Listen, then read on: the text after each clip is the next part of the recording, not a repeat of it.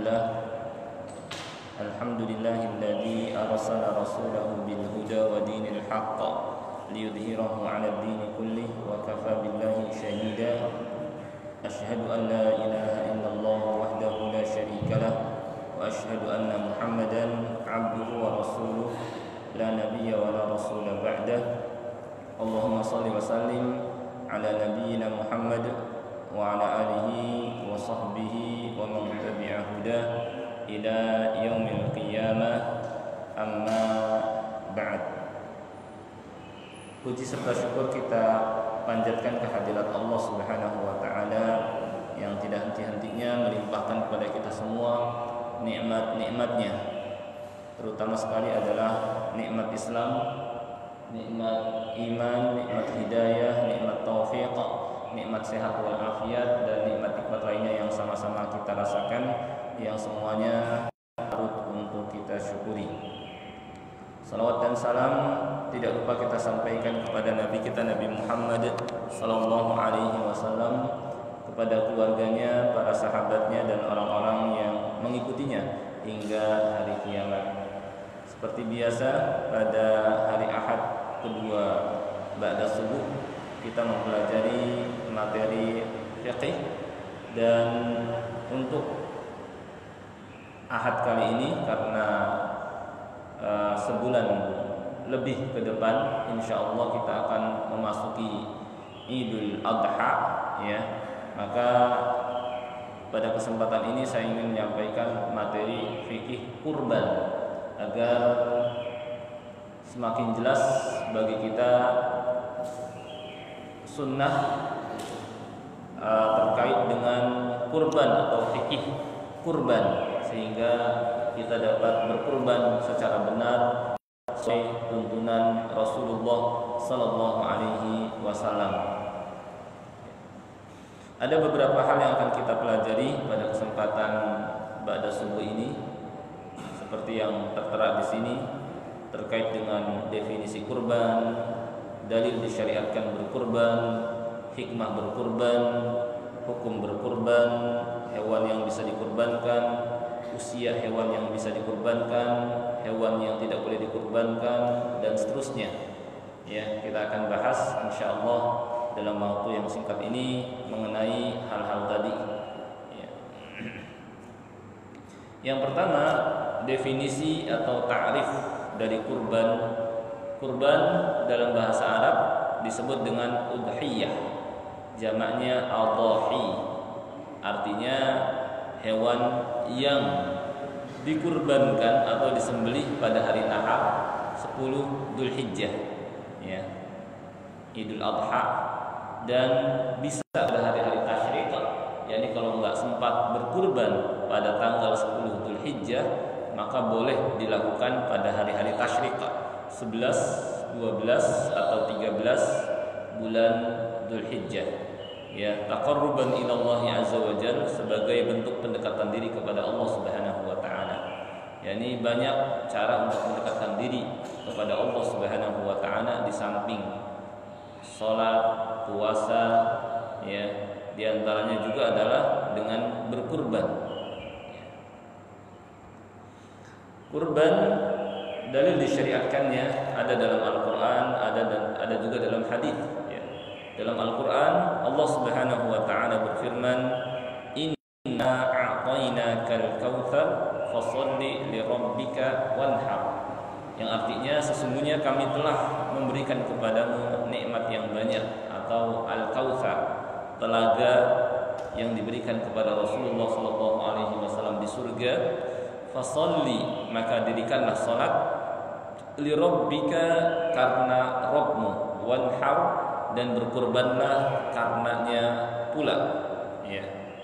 Dalam ayat ini terdapat banyak faedah di antaranya adalah bahwa di antara cara bersyukur kepada Allah Subhanahu wa taala di samping kita akui bahwa nikmat yang kita rasakan berasal dari Allah Subhanahu wa taala kita sebut nama Allah Subhanahu wa taala dan memujinya juga dengan melaksanakan perintah-perintah Allah Subhanahu wa taala dan menjauhi larangannya. Sebagaimana tertera di ayat ini fasalli maka dirikanlah salat yakni sebagai bentuk syukur engkau kepada Allah Subhanahu wa taala atas nikmat yang dia berikan kepadamu. Fasalli li rabbika maka dirikanlah salat ya karena Rabbmu. Yakni lakukanlah salat lillah karena Allah Subhanahu wa taala bukan karena manusia bukan pria tapi karena Allah Subhanahu wa taala. Wanhar dan berkurbanlah yakni karena Allah Subhanahu wa taala juga sebagaimana salat pun dilakukan karena Allah Subhanahu wa taala. Kalau kita lihat susunan ayat ini fasalli li rabbika maka dirikanlah salat karena Rabbmu karena Tuhanmu kemudian dilanjutkan dengan berkurban ayat ini lebih mengarah kepada salat Idul Adha karena tidak ada sholat yang setelahnya dilakukan kurban kecuali sholat Idul Adha. Maka ayat ini perintah untuk melakukan sholat Idul Adha dan perintah juga untuk berkurban. Ya. Meskipun secara umum tertuju kepada semua sholat juga, bahwa semua sholat diperintahkan dilakukan ikhlas karena Allah Subhanahu wa taala. Maka Al-Hafidz Ibnu Katsir rahimahullah menerangkan yakni sebagaimana kami telah memberikan kepadamu kebaikan yang banyak yang di antaranya adalah sungai Al-Kautsar di surga yang telah disebutkan sifatnya maka kerjakanlah sholat yang fardu dan yang sunnah karena Robmu. Mencakup sholat fardu dan sunnah bukan hanya sholat idul adha meskipun susunan ayat ini lebih mengarah kepada sholat idul adha. Dan berkurbanlah rabbika karena Allah subhanahu wa ta'ala ditujukan kepadanya dan hanya disebut namanya saja, tidak nama selainnya. Tidak ada sebelumnya. Dalam ayat ini perintah untuk mengarahkan berbagai macam bentuk ibadah kepada Allah Subhanahu wa taala sebagaimana di surah Al-An'am ya. Qul inna salati wa nusuki wa mahyaya wa mamati lillahi rabbil alamin la syarika lahu wa bidzalika umirtu wa ana awalul muslimin. Katakanlah sesungguhnya salatku sati wa nusuki. Nusuk di sini artinya dzabihah, sembelihanku. Ya. Kemudian hidupku dan matiku adalah untuk Allah Rabbul Alamin. La syarikalah, tidak ada sekutu baginya dan demikianlah yang diperintahkan kepadaku ya dan aku termasuk orang-orang muslim. Ya. Nah itu uh, di sini perintah mengarahkan ibadah kepada Allah Subhanahu wa taala saja, baik kurban, salat dan ibadah-ibadah lainnya. Demikian pula agar dilakukan ikhlas karena Allah Subhanahu wa taala bukan karena manusia, ya. Juga agar dalam kurban yang kita lakukan disebut nama Allah Subhanahu wa taala sebagai bentuk tauhid, mengesahkan Allah Subhanahu wa taala. Di tengah di antara manusia ada yang mengarahkan kurbannya untuk selain Allah seperti yang mereka yang membuat sesaji, mereka yang membuat tumbal ya. Juga ada yang disebut nama selain Allah Subhanahu wa taala dalam hewan sembelihannya. Ini semua adalah syirik ya. Untuk Allah Subhanahu wa taala dan dosa yang sangat-sangat besar ya. Baik, selanjutnya hikmah dari berkurban banyak sekali. Ya di antaranya adalah ihya sunnati abil anbiya. Menghidupkan sunnah bapak para nabi yaitu Nabi Ibrahim alaihissalam di mana beliaulah yang pertama mencontohkan beliaulah yakni yang mencontohkan kurban. Ya. Di mana ketika itu Allah Subhanahu wa taala menguji beliau dengan uh, perintah mengorbankan anaknya untuk uh, mengujinya apakah dia apakah beliau lebih mengutamakan ya kecintaan kepada Allah Subhanahu wa taala dan siap mengorbankan jiwa, raga dan hartanya di jalan Allah atau tidak. Dan ternyata Nabi Ibrahim alaihissalam lebih mencintai Allah Subhanahu wa taala dan rela mengorbankan ya jiwa, raga dan hartanya termasuk bahkan anaknya di jalan Allah Subhanahu wa taala. Ya. Dan ini hanya sekedar ujian untuknya. Ya. Sampai kata Allah inna hada lahuwal balaul mubin. Sesungguhnya ini adalah ujian yang sangat berat, yang sangat apa yang sangat nyata ya tapi Ibrahim alaihissalam sanggup memikul semua ujian-ujian itu sehingga Allah Subhanahu wa taala memilih beliau sebagai imam linnas. Inni ja'iluka linnasi imama. Sesungguhnya aku menjadikanmu sebagai pemimpin bagi seluruh manusia.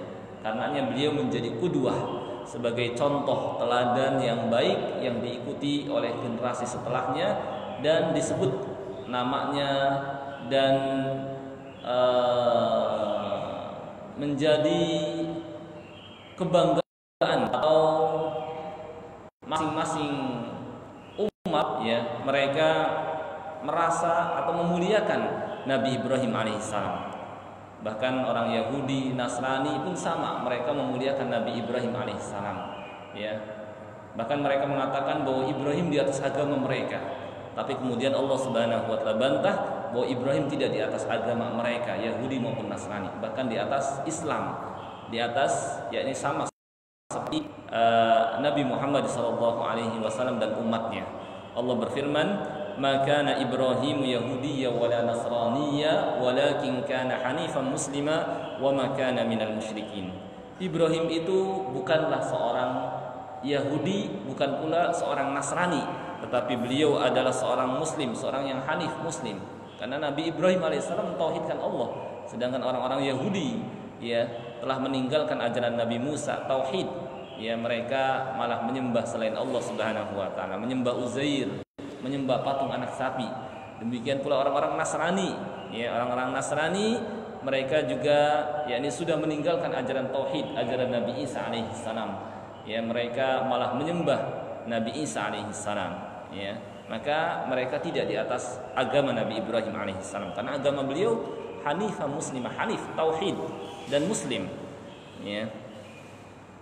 Demikian pula uh, dalam kurban di sana juga terdapat al-it'am ya memberikan makan kepada orang-orang miskin di mana mereka ya karena kekurangan mereka mereka uh, terkadang jarang makan dagingnya karena mungkin mahal ya harga daging. Maka dengan adanya kurban ya mereka mendapatkan merasakan ya nikmatnya makan daging Demikian pula sebagai tanda syukur kepada Allah Subhanahu wa taala sebagaimana firman Allah tadi fasalli li rabbika wanhar.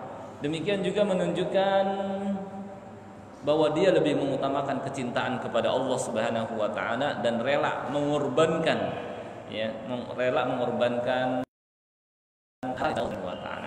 Biasanya sedekah yang dikeluarkan itu tidak banyak. Terkadang kalau zaman sekarang ya hanya ratusan ribu ya 100 ribu, 500 ribu, 200 ribu. Tapi untuk kurban ini ya sampai jutaan. Ya, apalagi kalau berkurban dengan sapi, apalagi kalau berkurban dengan unta, ya itu sampai belasan bahkan bisa puluhan juta. Ya. Di sinilah diuji hunalika tulia. Di sinilah diuji apakah dia lebih mengutamakan kecintaan kepada Allah dan rela mengorbankan hartanya di jalan Allah ataukah dia lebih mengutamakan hartanya sehingga dia tidak mau berkurban. Hunalika karenanya kurban lebih utama daripada sedekah karena nilainya jauh lebih besar daripada sedekah. Ya. Itu di antara hikmah kurban sebagai ujian bagi kita apakah kita rela ya mengorbankan harta kita di jalan Allah Subhanahu wa taala dan lebih mengutamakan kecintaan kepada Allah Subhanahu wa taala daripada harta atau kita berat mengeluarkan harta kita di jalan Allah dan lebih mencintai harta. Ya. Selanjutnya, hukum berkurban. Para ulama berbeda pendapat terkait dengan hukum kurban, ya. Apakah hukumnya wajib atau sunnah? Ya. Di antara mereka ada yang berpendapat bahwa kurban ini hukumnya wajib, ya. Tapi bagi yang mampu hukumnya wajib. Mereka berdalih dengan firman dengan hadis Rasulullah sallallahu alaihi wasallam, "Man kana sa'ah wa lam yudhi fala yaqrabanna musallana." Barang siapa yang punya kemampuan, punya kelebihan harta, yakni untuk berkurban tapi tidak mau berkurban, kata Nabi sallallahu alaihi wasallam, maka jangan dekati tempat salat kami, lapangan salat Id. Dalam hadis ini meskipun tidak tegas menyatakan wajibnya, tetapi di sana terdapat isyarat akan sangat ditekankan sekali. Bahkan sebagian ulama berdalih dengan hadis ini akan kurban ya. Karena Nabi Shallallahu Alaihi Wasallam sampai menyatakan udah nggak usah sekalian sholat bersama kami. Menunjukkan peringatan ceram kritikan dari Rasulullah Shallallahu Alaihi Wasallam kepada orang yang mampu berkurban cuma nggak mau berkurban ya. Namun yang lain berpendapat uh, bahwa hukumnya sunnah muakkadah sunnah yang sangat sangat ditekankan ya. Mereka berdalih dengan hadis ya. Ini inilah kenapa timbul adanya perbedaan di kalangan ulama. Bukan karena hadisnya berbeda bukan karena bertabrakan tidak mungkin wahyu satu sama lain berbeda akan tapi dalam memahami mereka memahami isyarat dari hadis ini sepertinya lebih mengarah ke situ sedangkan yang lain melihat hadis lain sepertinya lebih mengarah ke sini contoh di sini mereka berpendapat wajib karena melihat ya maka jangan sekali-kali dekati tempat sholat kalian, lapangan sholat kalian.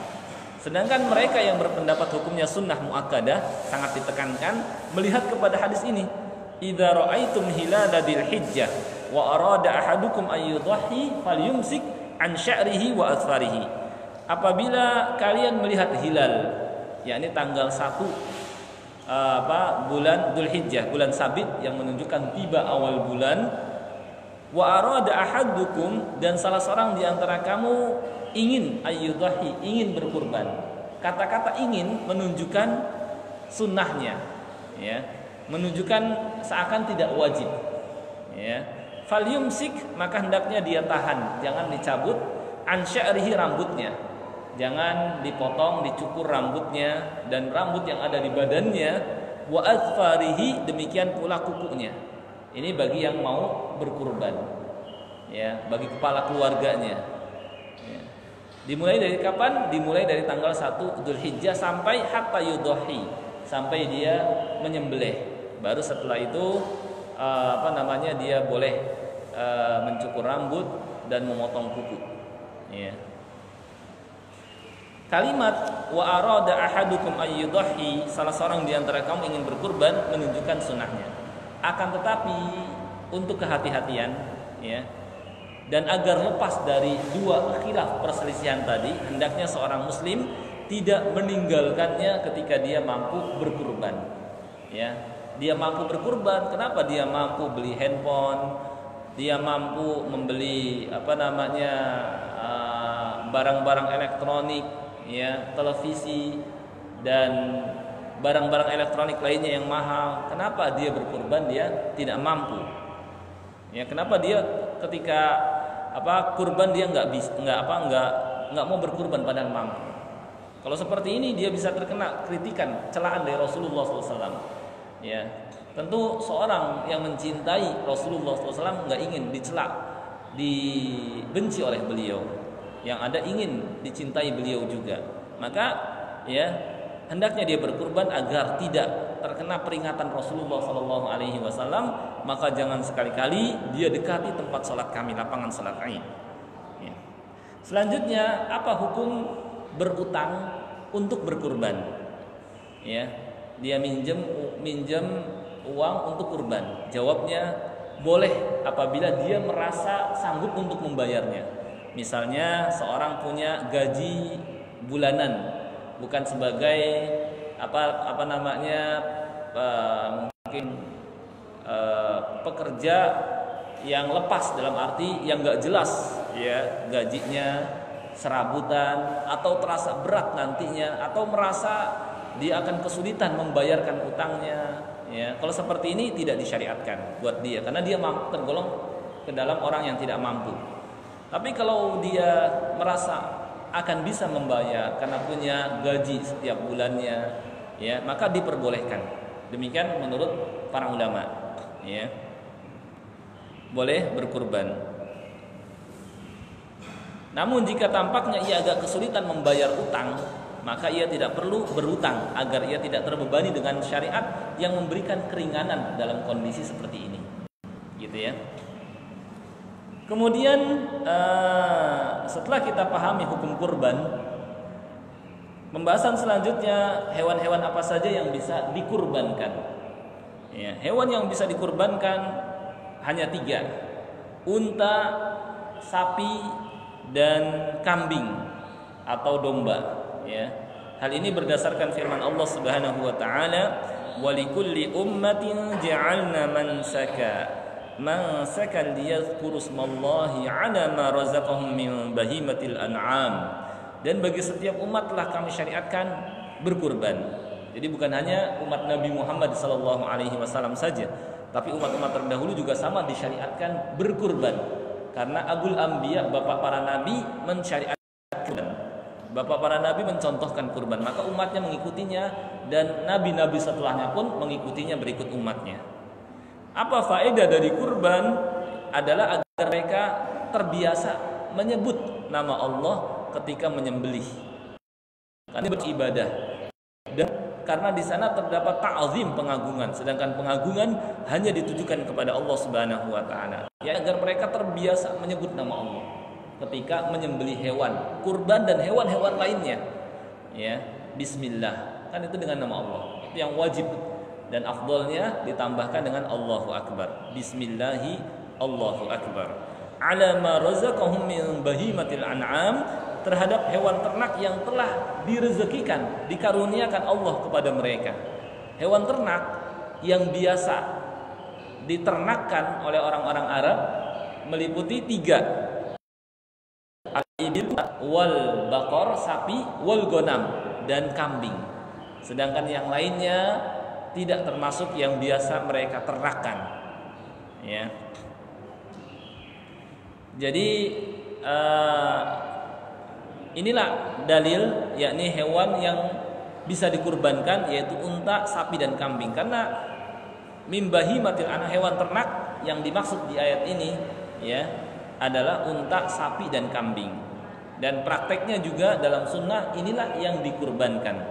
Ya tidak misalnya uh, ayam, bebek atau kelinci atau hewan peliharaan lainnya. Ya, tidak. Ini yang dikurbankan. Baik. Setelah ini kita pahami uh, usia hewan yang bisa dikurbankan itu itu berapa usianya. Dalam hadis Rasulullah Shallallahu Alaihi Wasallam bersabda, "La tadbahu illa musinnah, fa in ta'suru alaikum fadbahu jada'atan min Janganlah kalian menyembeli kecuali yang musinnah, ya. Musinnah yang sudah cukup usia, jangan terlalu kecil masih baru lahir ya. Uh, ini musinnah ya ini yang sudah cukup layak untuk dikurbankan. Nanti akan diterangkan usia-usianya fa in alaikum jika kalian kesulitan mencari yang sudah layak cukup usianya fadbahu jaza'atan minad maka sembelihlah yang jaza'ah mendekati. Ya. Maksud musinnah yang sudah cukup usia di sini, kalau unta dianggap sudah cukup usia untuk dikurbankan ketika usianya lima tahun atau lebih, lima tahun atau lebih. Kalau sapi usianya dua tahun atau lebih, karena sudah dua tahun sudah besar, ya. Sedangkan untuk kambing, ya, itu yang usianya setahun atau lebih. Ini yang bisa usia hewan yang dikurbankan dan tidak boleh dibawa dari usia tadi. Unta masih tiga tahun, sapi masih setahun, kambing masih misalnya lima bulan, ya ini nggak boleh. Cuma kalau kesulitan mencari kalau untuk domba atau biri-biri, maka boleh yang usianya mendekati setahun. Ya, kalau misalnya nggak dapatkan yang setahun, boleh mendekati setahun. Yaitu mendekati setahun ini bisa 9 bulan atau 8 bulan atau 7 bulan atau minimal sekali 6 bulan madhab Hanafi ya dan tidak boleh di bawah 6 bulan inilah yang dimaksud dengan jaza'ah kalau nggak dapatkan yang usianya setahun untuk domba atau biri-biri maka boleh yang mendekati setahun. 9, 8, 7 minimal sekali adalah 6 bulan. Baik. Kalau ini sudah dipahami maka uh, hewan yang tidak boleh dikurbankan. Ya. termasuk syarat bisa dikurbankan adalah ketika hewan tersebut selamat dari cacat yang mengurangi dagingnya yang mengurangi nilainya ya misalnya karena sakit nanti akan dirincikan sakit seperti apa. Kurang pada anggota badannya dan kurus kering ya. Nah ini beberapa cacat yang menjadikan hewan tidak bisa dikurbankan yaitu hewan yang sakit yang jelas sakitnya. Nanti akan diterangkan seperti apa yang jelas sakitnya. Hewan yang buta sebelah matanya yang jelas butanya hewan yang pincang yang jelas ya pincangnya hewan yang kurus tidak bersumsum. Kata Rasulullah sallallahu alaihi wasallam, arba'un la tajuzu fil adahi. Ada empat macam hewan yang tidak boleh dijadikan untuk berkurban. Jadi kalau kita pilih hewan, jangan empat hal ini karena menunjukkan dia meremehkan atau memilih yang jelek ya dalam kurban. Yang pertama al-aura al-bayyin awaruha. Hewan yang buta sebelah matanya yang jelas butanya. Ya. Yang kedua al marid al bayyin maraduha hewan yang sakit yang jelas sakitnya. Wal arja dal'uha hewan yang pincang yang jelas pincangnya. Wal ajfa allati la tunki. Dan hewan yang tidak bersumsum. Berdasarkan zahir hadis ini ya maka kalau buta sebelah matanya tidak jelas misalnya hanya ada putih-putih saja, tidak sampai menutupi seluruh bagian matanya, maka masih sah dikurbankan karena harus betul-betul jelas matanya. Kalau cuma ada sekedar putih di matanya tidak menutupi seluruh matanya, maka masih bisa dikurbankan. Demikian pula berdasarkan hadis tadi juga tahu uh, butanya sampai dua-duanya matanya maka tidak sah dikurbankan karena lebih parah lagi satu saja yang jelas butanya ya satu matanya jelas butanya tidak boleh apalagi kalau dua-duanya buta. Lebih jelas lagi tidak boleh dikurbankan yang berdasarkan hadis dohir hadis ini juga adalah ini fikih hadis ya seperti ini. Berdasarkan hadis tadi juga ya kalau hewan uh, tidak jelas sakitnya. Ya. Nah, sedangkan di sini sedangkan yang jelas sakitnya adalah sakit yang tampak sekali pengaruhnya bagi hewan tersebut. Ya. Misalnya membuat hewan tersebut jadi nggak mau makan. Ini kan jadi betul-betul sakit. Jadi nggak mau makan hewan ini. Atau penyakit tersebut membuatnya semakin kurus, kelihatan sekali karena sakit dia semakin kurus, kurus, ya. Termasuk juga hewan yang kelihatan sekali sakitnya, dari fisiknya sudah kelihatan seperti al-jarba yang berkudis, yang jelas berkudis gitu ya. Nah, ini juga tidak sah untuk dikurbankan karena jelas sakitnya. Ya, membuat dia nggak mau makan, membuat semakin kurus. Kemudian masuk ke dalam hewan yang tidak boleh dikurbankan yaitu yang jelas pincangnya yaitu azamna ya. Azamna adalah hewan yang uh, termasuk ke dalam yakni termasuk ke dalam hewan yang jelas pincang dan azamna yaitu hewan yang lemah dalam berjalan karena terkena penyakit ya sehingga enggak, dia nggak bisa menyusul sekawanan hewan lainnya ya. dan apalagi ya kalau yang pincang saja tidak boleh untuk dikorbankan apalagi yang jelas-jelas terpotong uh, kakinya bagian depan atau bagian belakang. Tentu lebih tidak boleh lagi dikurbankan ya.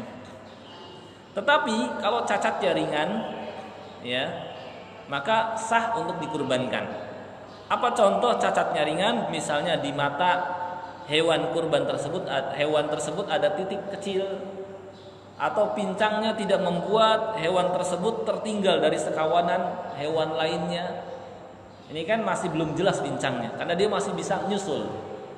Masih bisa ikuti rombongan. Demikian pula jika kurusnya tidak kurus sekali. Ya, maka masih bisa sah dikurbankan. Demikian pula berdasarkan hadis tadi juga, fikih hadis tadi, kalau cacatnya selain empat hal tadi atau semakna dengannya atau lebih parah lagi, maka masih sah untuk dikurbankan ya apabila cacatnya selain tadi ya. Oleh karena itu nggak apa-apa hewan berkurban dengan hewan yang telinganya terbelah. Karena tidak termasuk yang disebutkan dalam empat uh, empat apa sifat tadi ya. Kemudian atau robek atau tanduknya patah ya. Maka tidak mengapa dikurbankan ya. Di samping hal itu juga tidak mengurangi dagingnya ya juga karena pada cacat pada hal-hal tadi ya ini sering ditemukan. Ya sering sekali kadang ada yang tanduknya patah karena apa namanya beradu ya atau ada yang robek ya.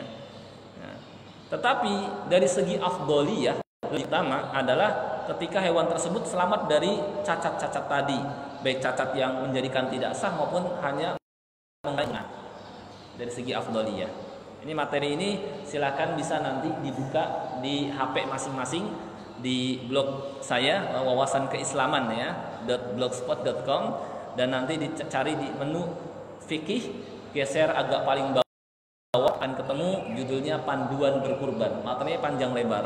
Sehingga dengan kita baca ini sampai uh, selesai kita akan paham gambaran sunnah Nabi Wasallam dalam berkurban. Di sini panduan berkurban ya jadi di menu fikih di bagian agak ke bawah ya ini juga silakan kalau mau di share ke grup ke teman-teman ke yang mau berkurban supaya dia paham ya sunnah sunnah atau fikih terkait dengan kurban. Ya. panduan berkurban. Di sini ada fatwa-fatwa ulama seputar kurban. Ini juga penting ya supaya kan enak kalau kita beribadah di atas ilmu ya kurban kita sah sesuai dengan tuntunan Nabi Shallallahu Alaihi Wasallam. Kita pun bisa berbagi. Zaman sekarang berbagi pun mudah sekali. Kalau kita nggak ingat apa yang disampaikan oleh yang ceramah dari awal sampai akhirnya ada rekaman. Saya juga sudah buat live juga misalnya di Facebook.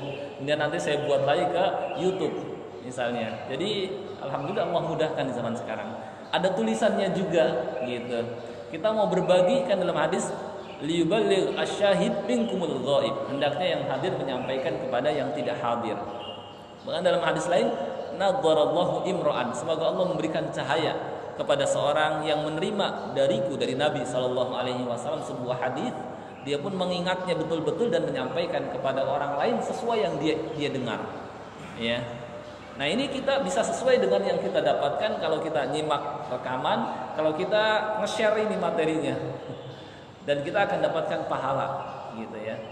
Mandala ala khair falahu mithlu ajri fa'ili siapa yang menunjukkan orang lain kepada kebaikan dia dapatkan pahala seperti orang yang melakukannya. Ya. Orang itu jadi berkurban karena kita.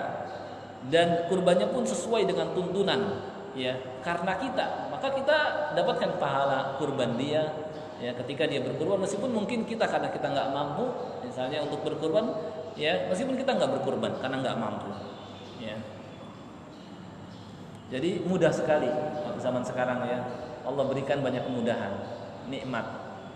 Ya. kemudian uh, di sini juga ada keterangan tambahan. Jika hewan kurban itu cacat dengan cacat yang menjadikannya tidak sah untuk dikurbankan jadi pincang jelas pincangnya ya. Misalnya pincang yang sebelumnya uh, tidak ya. Maka jika cacat pada hewan tersebut karena keteledorannya ya dia nggak menjaganya dia tidak merawatnya maka dia harus mengganti dengan hewan kurban yang baru yang tidak cacat uh, seperti tadi. Tapi kalau bukan karena keteledorannya ya dia sudah menjaganya tapi hewan ini nggak bisa diem ya akhirnya beradu misalnya dengan hewan yang lain membuatnya pincang atau nggak bisa diem ke mana-mana. Terus akhirnya jatuh sehingga pincang. Padahal dia sudah jaga sudah pelihara sudah rawat baik-baik maka masih sah untuk dikurbankan. Ya. Itu dalam fikih seperti ini. Selanjutnya kapan waktu menyembelih hewan kurban Menyembelih hewan kurban ini dilakukan setelah sholat id, tidak boleh sebelumnya. Karena kata Nabi Shallallahu Alaihi Wasallam, "Mandabaha qabla ayyusalli falyatbah ukhra makanaha, wa man lam yatbah falyatbah bismillah." Barang siapa yang menyembelih sebelum sholat, ya, maka sembelihlah hewan lagi sebagai gantinya, yakni belum dianggap kurban Dan barang siapa yang menyembelih maka sembelihlah dengan menyebut nama Allah Bismillah. Yang wajib Bismillah. Afdolnya Allahu Akbar. Ditambah lagi disebutkan namanya Allahumma hadha anni. Ya Allah ini dariku wa an ahli baiti dan dari keluargaku. Dan kalau nggak bisa pada uh, hari Id, ya Idul Adha kita nggak bisa berkurban, misalnya karena ataupun misalnya panitia nggak uh, sempat untuk berkurban pada hari Jumat karena mau sholat Jumat. Meskipun kalau id bertepatan dengan hari Jumat maka sholat Jumatnya menjadi apa uh, diberikan pilihan. Boleh mengganti dengan zuhur ya atau tetap sholat Jumat ya. Nah kalau misalnya mau diusulkan misalnya pindah ke uh, hari berikutnya juga boleh karena waktu berkurban itu bukan hanya Idul Adha boleh pada hari-hari tasyrik dalam hadis Nabi Shallallahu Alaihi Wasallam menyatakan kullu ayami tasyrik dzabah. Setiap hari tasyrik 11, 12 dan 13 adalah hari berkurban juga. Meskipun dari segi afdolnya pada tanggal 10 Hijjah karena termasuk 10 pertama bulan Dzulhijjah yang memiliki keutamaan dibanding hari-hari yang lain. Kemudian apakah dalam satu keluarga itu setiap anggota keluarga berkurban atau cukup satu saja mewakili semua keluarga? Jawabnya cukup satu saja mewakili semua anggota keluarga. Mewakili apa namanya e, bapaknya, ibunya dan anak-anaknya dalam satu keluarga, dalam satu rumah. Dalilnya hadis Abu Ayyub Al-Ansari radhiyallahu anhu dia berkata, dahulu seseorang di zaman Rasulullah Shallallahu Alaihi Wasallam berkurban dengan seekor kambing untuk dirinya dan keluarganya. Mereka pun makan dari kurban itu. Jadi sunnahnya juga bagi orang yang berkurban ikut makan ya dari hewan kurban itu. Meskipun boleh juga disedekahkan semuanya ya dan memberikan makan orang lain darinya. Namun orang-orang sekarang bermegah-megahan seperti yang kamu lihat. Setiap anggota keluarga ya misalnya ya uh, kepala keluarganya kurban, anaknya juga disebutin misalnya ada berapa anaknya, lima masing-masing berkurban atau uh, setiap anggota keluarga berkurban. Nah ini keliru. Ya cukup satu saja untuk uh, apa namanya mewakili dia dan keluarganya.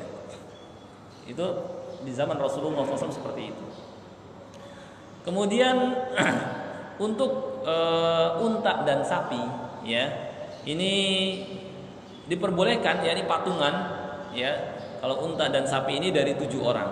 Baik antara tujuh orang itu ada hubungan kerabat atau tidak ada hubungan kerabat. Orang lain teman silahkan ya. E, dalilnya hadis Jabir radhiyallahu anhu kami berkurban untuk e, unta dan sapi dari dari tujuh orang bersama Rasulullah SAW pada tahun Hudaybiyah. Yani unta dan sapi itu patungan dari tujuh orang ya. Lalu bagaimana kalau ternyata kurang dari tujuh orang? Udah dicari orang cuma uh, nggak ada lagi. Jawabnya boleh. Misalnya hanya dapat enam orang saja ya. Akhirnya dinaikkanlah angkanya. Misalnya yang tadinya atau misalnya lima orang saja setelah dicari nggak ada orang yang mau jadi yang keenam atau jadi yang ketujuh. Hanya lima orang saja misalnya Sedangkan harga sapi misalnya uh, apa namanya uh, anggap 20 juta ya. Atau ya sekitar itu misalnya. Ya, maka tidak mengapa misalnya dinaikkan angkanya. Misalnya uh, seorangnya kena berapa? Uh, 4 juta, 4 juta, 4 juta atau mungkin salah seorang di antara di antara mereka saja yang berkorban. Biarlah saya yang bayar lebih biasanya 3 juta 3 juta patungannya sedangkan yang lain dia lebih ya. Yang lain misalnya sampai 5 juta biar saya yang nanggung atau berapa juta kekurangannya. Ya ini boleh ya. Atau dengan menaikkan angka eh, apa bayarannya yang tadinya 3 jadi 4 juga boleh ya. Dalilnya atau pernyataan ini pernyataan Imam Syafi'i ya. Imam Syafi'i rahimahullah berkata jika jumlah anggota kurang dari tujuh orang maka sah dan mereka melakukan amalan sunnah karena kelebihan yang mereka berikan.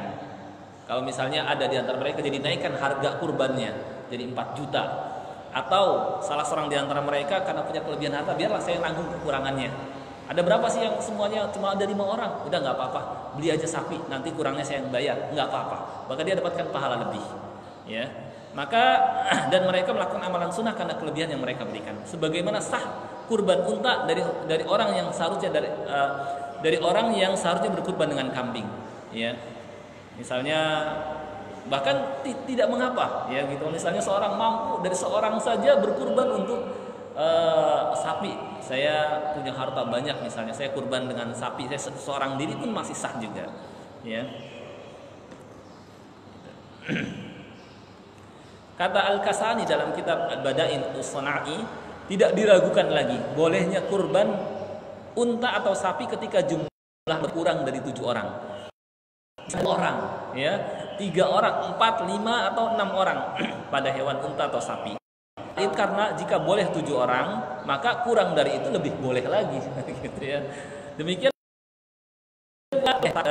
pula boleh sama jumlah biayanya atau berbeda yang dikeluarkan gitu ya misalnya sebagian di antara mereka ada yang separuh ada yang sepertiga atau seperenam ketika jumlah orang. Ya, misalnya ada yang bayar lebih lah gitu nanggung lebih. Yang sini cuma saya bisa cuma mengeluarkan ya satu juta doang. Lima orang satu juta selebihnya nanggung juga boleh. Kalau seperti itu. Ya misalnya. Kemudian bagaimana cara distribusi hewan kurban? Ya dianjurkan hewan kurban ini ya dibagi tiga bagian atau maksudnya tiga bukan sepertiga sepertiga tapi maksudnya adalah uh, ada bagian untuk ini ada bagian untuk itu ada bagian untuk yang lain Misalnya sepertiga, bukan sepertiga dalam arti harus sepertiga. Maksudnya ada bagian yang dikurbankan, ada bagian yang diberikan untuk yang berkurban. Ya, ada bagian juga yang diberikan e, kepada tetangga, kepada kerabat, dan ada bagian yang diberikan kepada orang miskin. Dan kalaupun disedekahkan semuanya juga nggak apa-apa. Udah, udah saya nggak usah ngambil bagian buat orang miskin aja, juga nggak apa-apa. Gitu ya. Dalilnya sabda Nabi Shallallahu Alaihi Wasallam kulu wadakhiru watasaddaq silahkan kalian makan ya, ini orang yang berkurban simpan juga silahkan dan sedekahkanlah ya ini dan untuk memudahkan para panitia kalau kalau misalnya bisa misalnya bagi yang berkurban nggak usah mungkin boleh sih dia mesen. Kita berikan tawaran ketika menawarkan mau pesen apa? Misalnya mau pesen paha atau mau pesen ati atau mau pesen kepala boleh nggak apa-apa ya. Tapi untuk memudahkan panitia mendingan kita mendingan uh, hanya mesennya misalnya berapa bungkus. Mau pesan berapa bungkus? Misalnya pesen 10 bungkus oh ya udah disiapkan 10 bungkus ya kan bisa juga dia gunakan nanti untuk kasih tetangga kasih apa namanya uh, temen atau saudara yang dekat misalnya dia mampir ngasih atau dia punya kenal orang yang kekurangan lainnya. Atau kalaupun misalnya udah saya titipkan kepada panitia saja ngasihin juga nggak apa-apa. Jadi ini untuk meringankan panitia. Daripada nanti milah-milahnya repot udah mendingan pesennya misalnya pesen berapa bungkus tawarannya gitu aja pesen berapa bungkus uh, nanti gitu cuma kalaupun misalnya yang berkurban udah saya nggak usah buat ini aja buat bagiin aja juga nggak apa-apa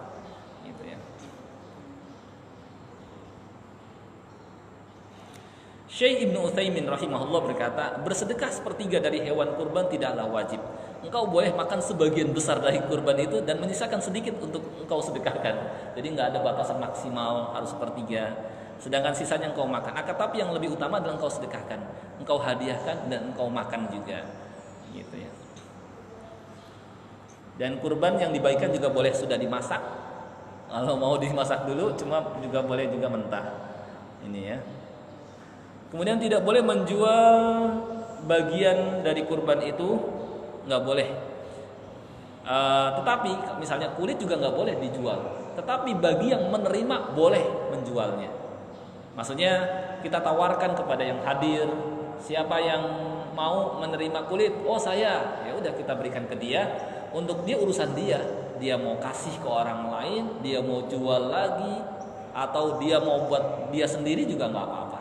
Tapi bagi apa namanya uh, panitia misalnya jangan menjual gitu karena hewan kurban ini bukan untuk dijual tapi untuk diberikan. Kalau sudah menerima silakan penerimanya mau ngapain aja terserah. Ya.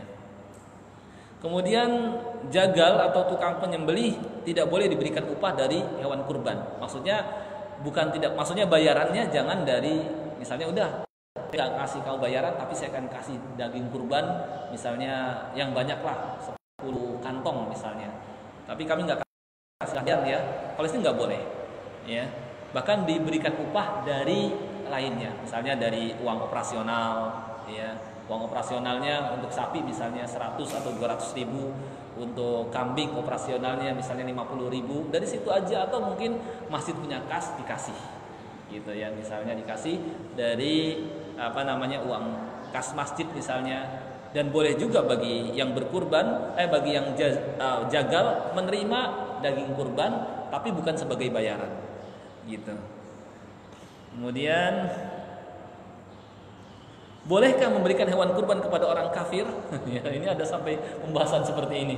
Ya, jawab kalau kafirnya bukan kafir harbi yang memerangi Islam boleh, gitu. Tetapi ya tentu ya diutamakan orang Muslim. Tapi kepada orang kafirnya kafir yang bukan memerangi diperbolehkan. Seperti kafir mustakmin yang meminta keamanan ke negeri Islam, kafir muahad yang mengadakan perjanjian damai, kafir dhimmi yang membayar pajak kepada pemerintah Islam agar diberikan keamanan dan tempat boleh. Kafir itu ada empat dan jangan diratakan. Kafir harbi yang memerangi Islam inilah yang kita berjihad kepadanya. Kemudian ada kafir zimmi yang berada di bawah pemerintahan Islam membayar pajak kepada pemerintah agar diberikan tempat tinggal dan uh, diberikan keamanan. Maka harus harus dilindungi. Kafir muahad yang mengikat perjanjian. Ya, juga jangan sampai uh, kita malah menzoliminya Ya, kata Nabi SAW, Mangkotala mu'ahadan lam yari raihatul jannah. Siapa yang membunuh kafir mu'ahad, maka dia tidak mencium wanginya surga. Kemudian kafir uh, apa namanya mustakmin yang minta keamanan. Ya, datang ke negeri Islam mohon saya diberikan perlindungan keamanan, maka uh, juga tidak boleh disakiti. Kalau kafir yang memerangi inilah yang kita disyariatkan jihad. Dan tidak boleh diberikan bagian dari kurban. Inilah indahnya maksudnya agama Islam ya. Dan uh, jahilnya mereka yang yang memutlakan. Sehingga lihat ada orang kafir langsung misalnya ngebom menyakiti. Nggak boleh seperti itu. Karena itu bukan syariat Islam yang sampai uh, apa namanya memerangi yang bukan tidak memerangi kita. Gitu ya.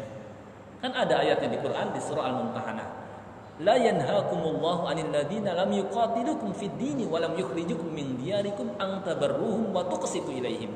Allah tidak melarang kalian berbuat baik dan berlaku adil kepada orang-orang yang tidak memerangi kalian dan tidak mengusir kalian dari tempat kalian. Itu kan jadi seperti itu. Dan afdolnya bagi yang yang berkurban beli sendiri kalau bisa. Cuma kalau nggak bisa ya mewakilkan. Yang diucapkannya Bismillahirrahmanirrahim Allahumma hadza anni. Ya Allah ini dariku wa an ali baiti dan dari keluargaku. Ya. Kalaupun hanya bismillah saja sudah sah. Ini yang wajib. Afdolnya ditambahkan Allahu akbar. Ya. Kemudian ini contoh kurban Nabi sallallahu alaihi wasallam. Ya. Ya, saya kira ini dan ketika menyembelih afdolnya yang kita potong adalah empat bagian kerongkongan saluran makanan tenggorokan saluran nafas dan dua urat lehernya kepotong. Empat itu kita potong afdolnya. Cuma kalau nggak bisa minimal ada khilaf di kalangan ulama ada yang berpendapat minimal tiga bagian. Bisa pilih mau tenggorokan kerongkongan dan satu urat leher mau uh, dua urat leher dan satu kerongkongan atau dua urat leher dan satu uh, tenggorokan. Cuma uh, menurut madhab uh, Hambali dan Syafi'i itu minimal tenggorokan dan kerongkongan sudah putus. Tetapi kalau menurut sebagian uh, ahli terkait yang lebih mematikan adalah bagian urat leher. Maka lebih utama itu urat leher segera dipotong karena itu lebih cepat mematikan dan kita diperintahkan berbuat ihsan, berbuat baik kepada hewan. Dan di antara yang membuat cepat mati adalah dipotong bagian urat lehernya. Wallahu a'lam. Mungkin ini pembahasan kurban yang bisa kita uh, pelajari mudah-mudahan jelas dan nanti kita mengetahui fikih kurban dan sunnah-sunnah dalam berkurban dan bisa kita berkurban. Ini mungkin yang bisa dipelajari. Wallahu alam. Mungkin kalau ada yang belum jelas atau ingin ditanyakan silakan.